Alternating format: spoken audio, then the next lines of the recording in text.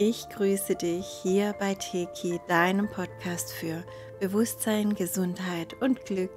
Ich bin Sandra und ich freue mich, dass du da bist.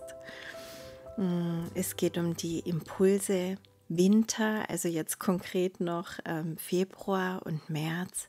Es geht um neue Aktivierungen, um das Erdmagnetfeld, um Feuer und Wut als neue Kraft und dich jetzt wirklich richtig auszurichten.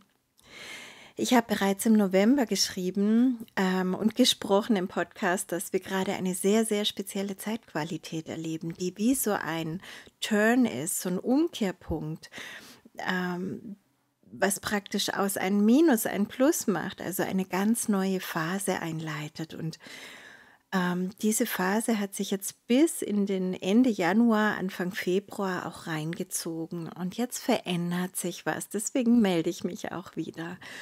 Vielleicht hast du diese besondere Art von Ruhe auch gespürt, so eine ja seltsame Stille, die innen und außen nicht unbedingt zusammenbringen muss. Vielleicht hast du dich innerlich ähm, ruhig gefühlt, während äußerlich sehr viel passiert ist, scheinbar oder auch umgekehrt. Und ich sage ja immer, das Innere ist eigentlich der perfekte Spiegel für das Außen und umgekehrt. Und ähm, in dieser Phase konnte das tatsächlich zeitverzögert ein bisschen anders sein, dass du also wirklich auch eine innere Unruhe zum Beispiel verspüren kannst, obwohl im Außen scheinbar gar nichts geschieht oder eben gerade umgekehrt, wie ich es gesagt habe. Mm, ja, und diese Stille, diese seltsame Phase, die wir da erlebt haben, die leitet einen totalen Neubeginn ein, der jetzt kommt. Es war entgegen vieler Meldungen die letzten zwei Monate so, dass ich diese Monate als ruhig vorausgesehen habe.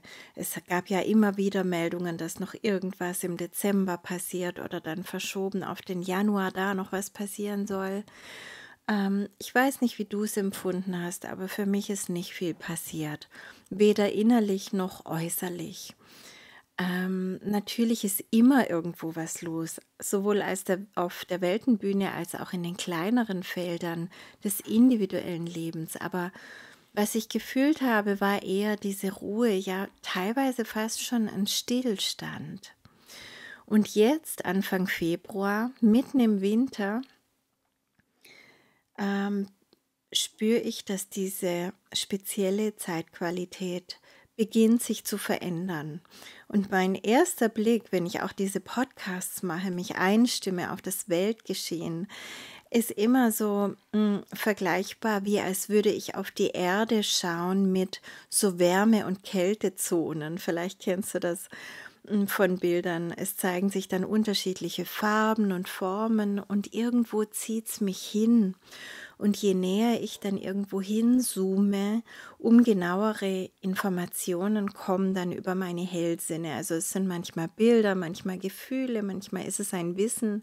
Das ist also nicht ein Lesen wie in einem Buch, so das kommt jetzt auf uns zu, sondern es ist immer mh, mm, ein, ein Potpourri aus vielen ähm, Eindrücken, die ich dann in eine Form bringe, damit ich sie deuten kann.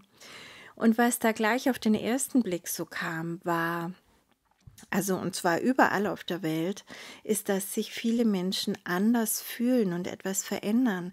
Also es war wie wenn ganz viele Menschen aufstehen und in eine neue Richtung blicken oder ähm, ihre Körperhaltung verändern oder ähm, losmarschieren in eine Richtung, die sie vorher gar nicht gesehen haben. Also da kam Bewegung rein. Ihr Leben hat sich verändert, ihr Umfeld hat sich verändert, sie selbst haben sich verändert.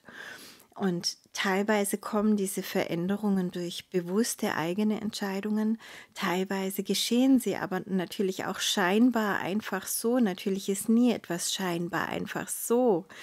Mm, wir sind ja eingebettet in gigantische kosmische Prozesse, die hier für uns alle stattfinden. Aber ohne bewusstes Zutun, sagen wir mal so.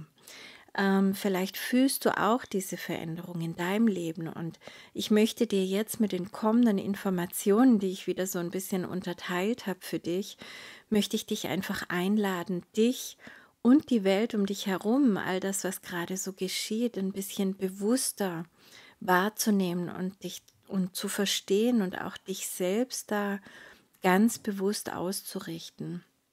Weil letztlich geht es darum, das Leben zu führen, was du wirklich führen möchtest. Bewusst, selbstbestimmt und in Liebe.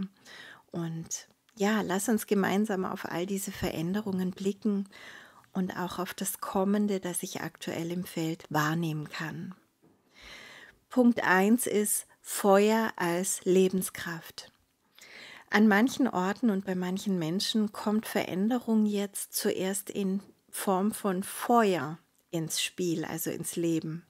Feuer als eines der vier Grundelemente der Existenz steht im erlösten Zustand, also im positiven, für Wärme, Geborgenheit, Licht, Führung, auch Erleuchtung, Wandel und Neubeginn. Feuer in uns, das ist unser inneres Feuer, wofür wir brennen, was uns antreibt. Es ist unser Charisma, ja das, wofür wir brennen, wofür wir losgehen wollen. Und ähm, ja, wenn dieses Feuer eben klar und erlöst ist, dann brennt es genau so, wie wir es brauchen und es treibt uns an mit einer wundervollen Lebenskraft in die richtige Richtung. Aber wenn dieses Feuer noch nicht erlöst ist, wenn noch alte Emotionen und Traumen da wirken, dann kann dieses Feuer auch seine zerstörerische Kraft entfalten und irgendwas mit aller Kraft niederbrennen, zerstören und es kann unkontrollierbar sein und auch ja explodieren. Ähm, und das zeigt sich eben dann in Form von Wut oft und Zorn und Zerstörungswahn und Schreien und Brüllen und ja, unkontrollierte Entscheidungen auch treffen. Und ähm, natürlich ist auch das eine Form von Erlösung, aber es muss nicht so sein. Wir können auch einen anderen Weg wählen, uns diese Lebenskraft wieder zur Verfügung zu stellen. Vielleicht mal ein kleines Beispiel. Wie du vielleicht weißt, bin ich zurzeit in Kapstadt und ich durfte vor ein paar Wochen hier Zeuge eines großen Feuers sein. Das Interessante daran war, dass ich zwei Tage vorher schon eine ganz, ganz starke Wut gespürt habe. Also zuerst habe ich die in mir gespürt und habe mich gefragt, warum bin ich denn so wütend? Wo kommt denn das her? Und dann habe ich aber gemerkt, dass es nicht meine Wut ist, sondern dass ich hier im kollektiven Feld wahrnehmen darf, was gerade los ist. Und da war eine unglaubliche Wut da. Und dann auf einmal hat es ganz nahe auch bei unserem Wohngebiet gebrannt. Und es war wirklich ein großes Feuer, ein starkes Feuer. Und viele Menschen sind mit uns zusammen in der Nacht äh, draußen gestanden, auf ihren Balkonen, in ihren Gärten, auf den Straßen, um zu beobachten, wie sich das entwickelt und ob man evakuieren muss oder ob, ob die Feuerwehrleute das wieder in den Griff bekommen und so weiter. Und ich habe mich dann an diese Wut erinnert, die zuvor war. Und die war auf einmal gar nicht mehr spürbar. Sie war weg. Sie hat sich entladen in diesem Feuer, also im Außen in Anführungszeichen. Und in dem Moment wusste ich, dass wir hier nur ein Symptom sehen, dessen Ursache jetzt auch mit unserer Hilfe transformiert werden darf. Und bei dieser Transformation durfte ich dann schön mitwirken und es ging alles gut aus. Das Feuer hat sich in die richtige Richtung noch ein Stück weiter fortgesetzt, also dorthin, wo niemand zu Schaden kommen konnte und ähm, ist dann schön ausgegangen. Also viele haben auch gesagt, es war für sie ähm, beeindruckend, wie schnell dieses Feuer ausgegangen ist, weil davon eigentlich nicht auszugehen war. Ja, und wenn ich von hier aus, von Kapstadt aus nach Europa blicke, vor allem in den deutschsprachigen Raum, dann nehme ich seit ein paar Tagen diese Aufheizung wahr, also diese Wut und das ist eine Wut, die sich jetzt neu zeigt, aber deren Wurzeln alt sind. Und jeder, der sich in irgendeiner Weise jetzt mit dieser Energie verbunden fühlt, das betrifft ja nie alle, ja, manche sagen auch, nö, habe ich gar nichts mit zu tun. Aber jeder, der das jetzt in irgendeiner Weise fühlt, kann sie jetzt einerseits mit transformieren und dann andererseits auch das Geschenk erhalten, nämlich diese erlöste Kraft als reine Lebenskraft wieder für sich selbst und die eigenen Projekte nützen. Wut ist eine ganz starke Feuerenergie und diese Feuerenergie, die können wir auch als Antrieb für noch ausstehende Entscheidungen nutzen, für Aussprachen nutzen oder auch um neue Weichen zu stellen. Ähm, wenn wir die Wut nicht weiter verdrängen oder verteufeln, sondern sie erstmal in unserem Feld anerkennen als das, was sie ist, dann kommen wir langsam wieder in den Fluss, dann können wir wieder mit ihr fließen. Ich kann jetzt an dieser Stelle keine ganz ausführliche Anleitung zum Umgang mit Emotionen oder Traumen geben.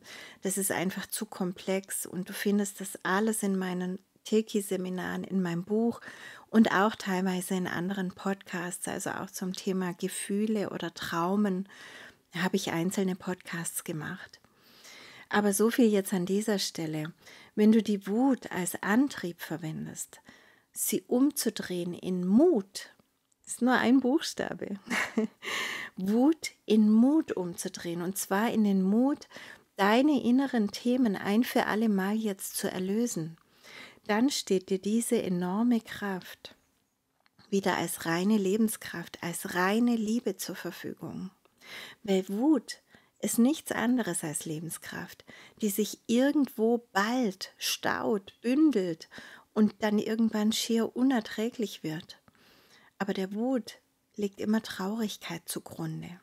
Und wenn du das verstehst und dich liebevoll durch diese Schichten und Schutzprogramme, die du dir selbst irgendwann mal aufgebaut hast, durchtransformierst und alles dabei auflöst, was du nicht mehr brauchst, dann bist du immer freier.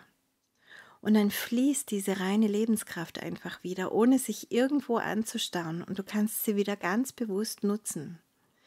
Und die volle Kraft, die steht dir wieder zur Verfügung, was dich enorm befreien und energetisieren kann. Also du kannst da wirklich auch körperlich wieder ganz neu in deiner Kraft sein. Und im nächsten Punkt möchte ich ganz konkret auch auf das Körperliche eingehen, was jetzt auch über unsere Chakren und das Erdmagnetfeld zu spüren ist. Also durch die kosmischen und irdischen Veränderungen, über die ich schon ganz oft und auch ausführlich berichtet habe, verändern sich immer wieder unsere energetischen Ausrichtungen. Das ist grundsätzlich absolut positiv zu bewerten, aber natürlich kann das immer wieder Aufstiegssymptome in uns erzeugen. Ähm, das habe ich auch in meinem Buch Involution ganz genau alles erklärt, auch mit Hilfen, die ich dazu anbiete. Bei ganz vielen Menschen sind jetzt gerade die unteren Chakren durcheinander.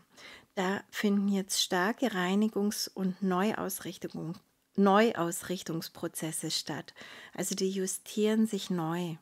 Und es kann Beschwerden natürlich in dem Bereich der unteren Chakren auch im körperlichen mit sich bringen. Also Darm, Verdauung, die Geschlechtsorgane, die Beine, die Hüfte, die Lendenwirbelsäule und so weiter. Aber natürlich auch in den Themen der unteren Chakren, wie jetzt zum Beispiel Urvertrauen, Sicherheit, die Mutter, die Mutterrolle, also die der Mutter, aber auch die eigene das Versorgtsein, das Erwünschtsein, die Partnerschaft, die Sexualität. Also da hängt viel dran, was uns Stabilität gibt oder eben auch nimmt, wenn wir da jetzt nicht in der Kraft sind. Und ein ganz viel genanntes Symptom dieser Zeit ist der Schwindel, was scheinbar natürlich in den oberen Chakren geschieht, aber das liegt einfach daran, dass wir nicht gut geerdet sind und dass sich dann das ganze Energiesystem damit nicht gut einstellen kann. Und dann beginnt da oben was einfach zu rotieren. Und das Ganze liegt jetzt an mehreren Dingen. Das möchte ich dir kurz erklären. Erstens verbinden wir uns natürlich immer wieder neu mit den Energien der Erde. Wir erden uns, wir sind immer verbunden mit der Erde, aber die Erde verändert sich ja ihrerseits ständig und derzeit ganz enorm. Also das sind so enorme Veränderungsprozesse in der Erde ähm, laufen da ab, dass wir uns damit eben ständig kalibrieren müssen. Und ähm, wir sind ja mit unserem ganzen Energiesystem, mit den Erdlinien verbunden, mit den Erdlinien Kraftplätzen, mit allem, was da fließt, mit den Polen, die sich verschieben und so weiter. Und wenn sich da etwas ändert, dann positionieren wir uns genau dann auch schon wieder neu. Das heißt, manchmal ganz stark innerhalb von wenigen Tagen sind wir fast schon nicht mehr dieselben, beziehungsweise bauen wir nicht mehr auf dieselbe Basis auf. Und da sich seit ein paar Monaten so viel ändert, ich hatte zuletzt auch noch so ein kurzes Video über die Tiere gemacht, die im Kreis laufen.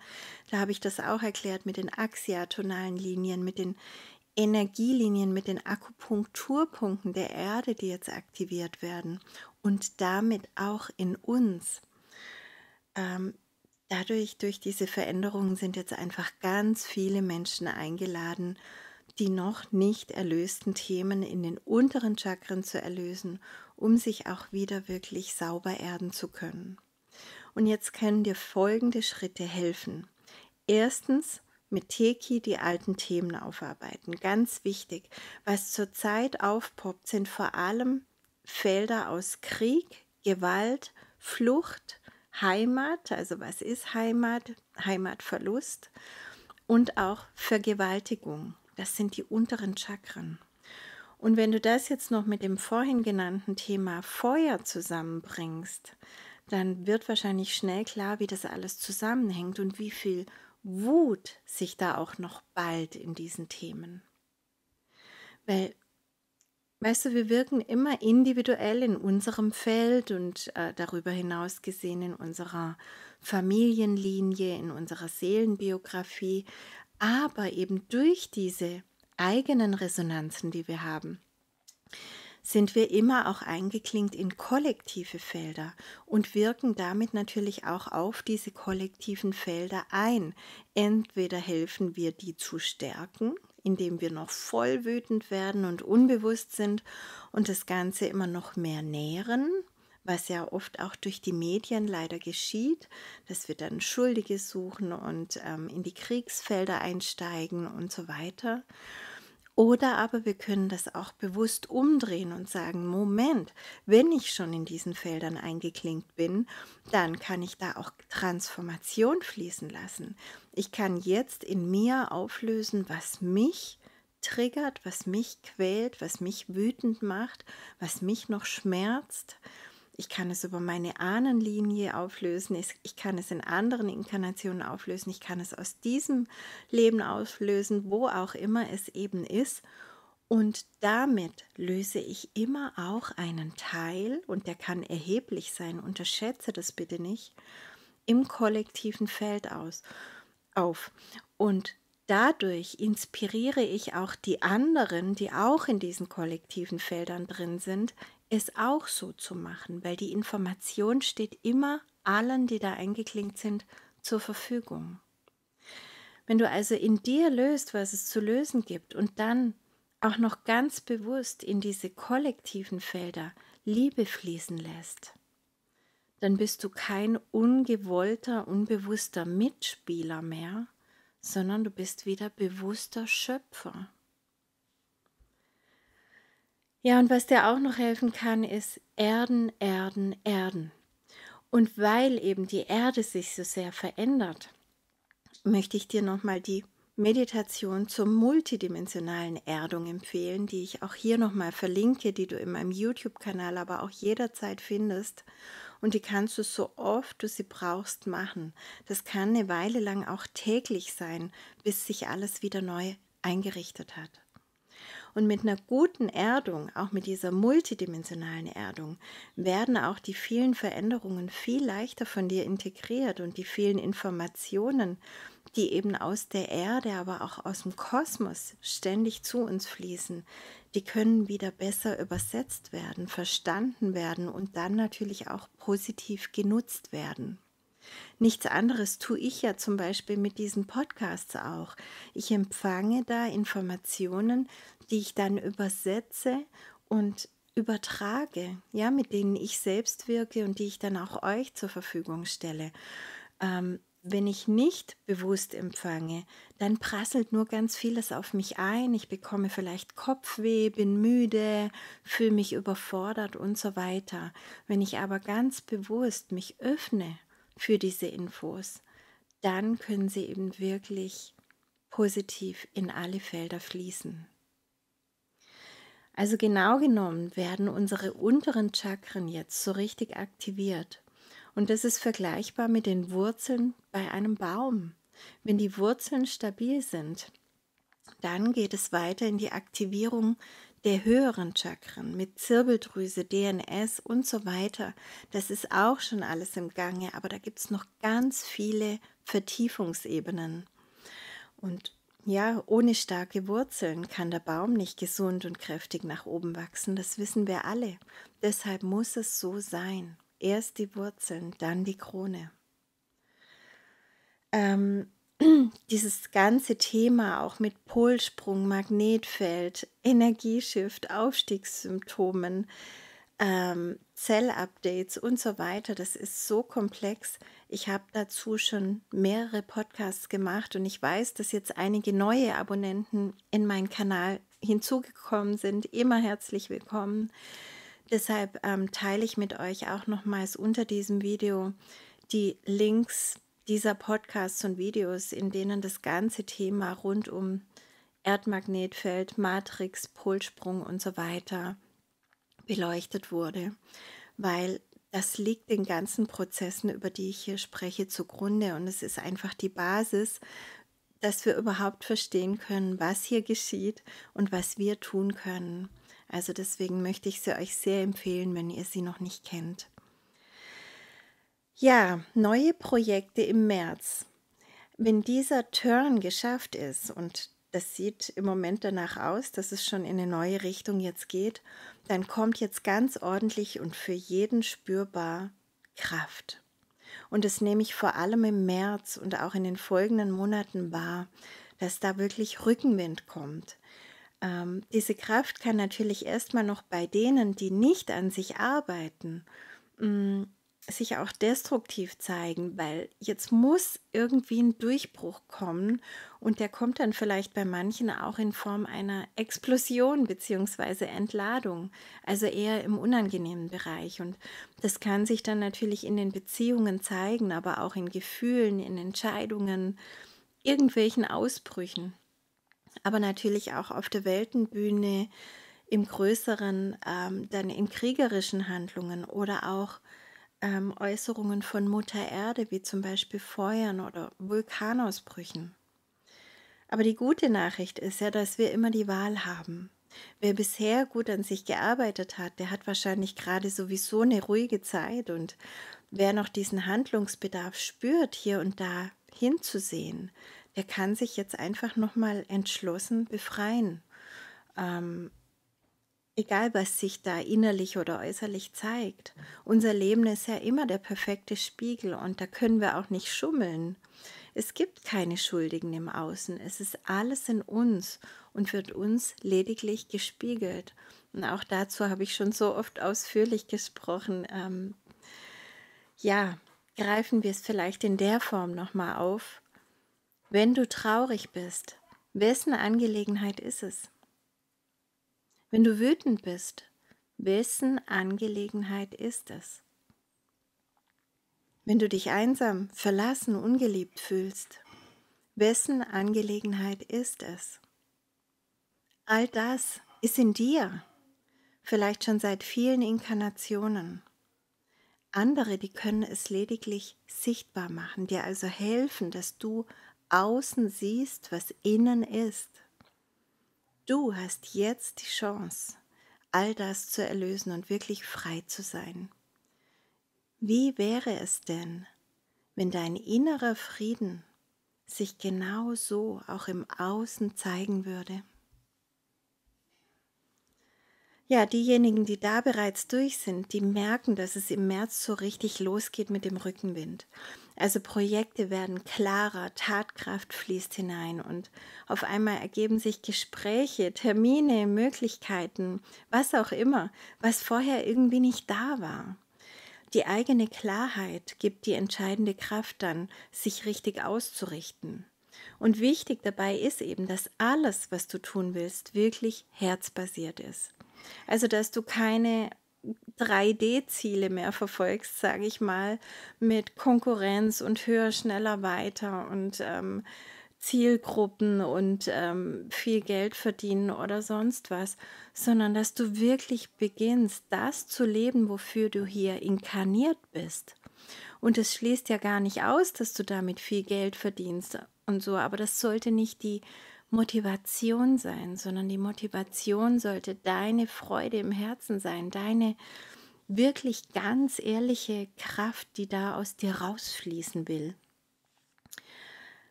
Und ja, alles andere, das hat auch keine Kraft mehr, das bekommt keine Kraft mehr aus deiner Seele, weil die Ausrichtung, die bist du.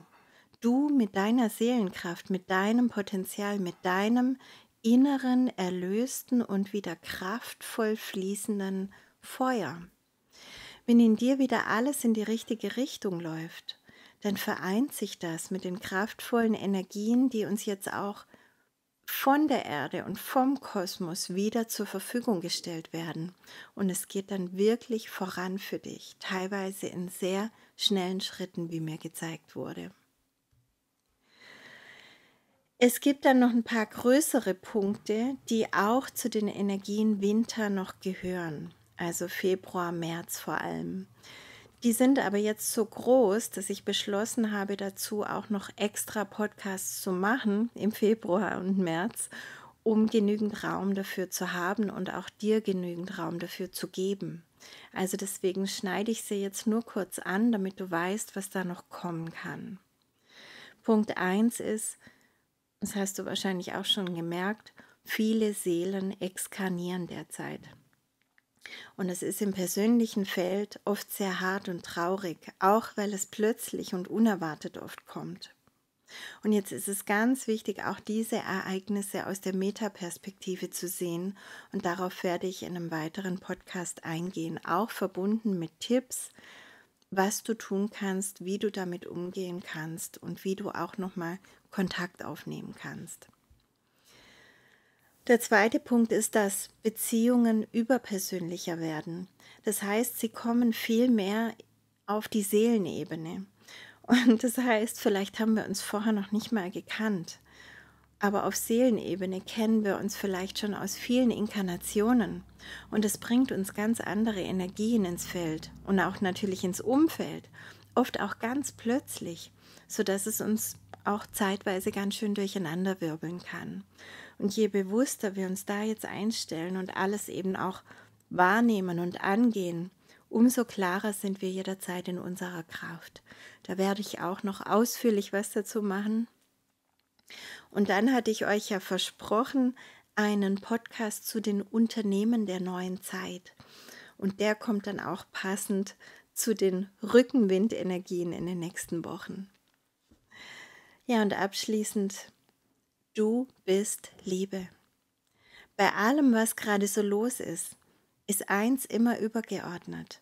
Wir alle sind in einem großartigen Prozess sind diejenigen, die sich hier bewusst entschieden und inkarniert haben, um diesen Wandel mitzuerleben. Manche eher beobachtend, andere ganz aktiv. Ganz egal. Jeder ist richtig, genau da, wo er ist. Jeder ist auf seinem Weg, in seinem Prozess. Keiner von uns ist höher, schneller, weiter, besser oder gar geliebter. Wir sind alle aus der Liebe gekommen und wir werden, wenn wir alles erlebt haben, was wir erleben wollen, wieder in dieser Liebe sein. In Wahrheit sind wir diese Liebe immer. Wir können gar nie getrennt davon sein. Auch wenn wir uns teilweise als Meister der Illusion dafür entscheiden, uns getrennt davon zu erfahren, aber das ist was anderes. Wir können gar nie getrennt davon sein. Keine einzige Sekunde. Und wenn du möchtest, dann geh doch jetzt einen Moment in dich.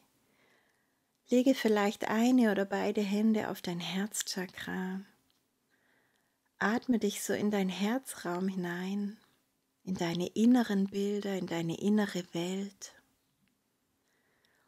Und nimm den Moment wahr, wie du irgendwann einst aus der Liebe, aus der reinen Liebe, aus dem reinen Bewusstsein der Quelle auf deine Reise gegangen bist. Voller Freude das ganze Universum erobernd, zusammen mit vielen anderen Lichtern. Und wie ihr euch alle in unzähligen Welten, Ebenen und Dimensionen erfahren dürft, wie auf einem gigantischen multidimensionalen Spielplatz. Aber in Wahrheit ist dieser Spielplatz innerhalb der Quelle, die du niemals verlassen hast. Du bist immer behütet und beschützt. Und im Grunde kann dir auch gar nie irgendetwas passieren.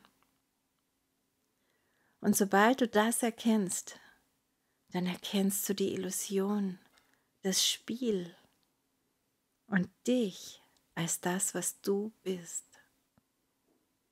Reine Liebe. Danke, dass du diese Liebe in unsere Welt trägst. Danke, dass du Liebe bist. Bis bald. Wir sehen uns.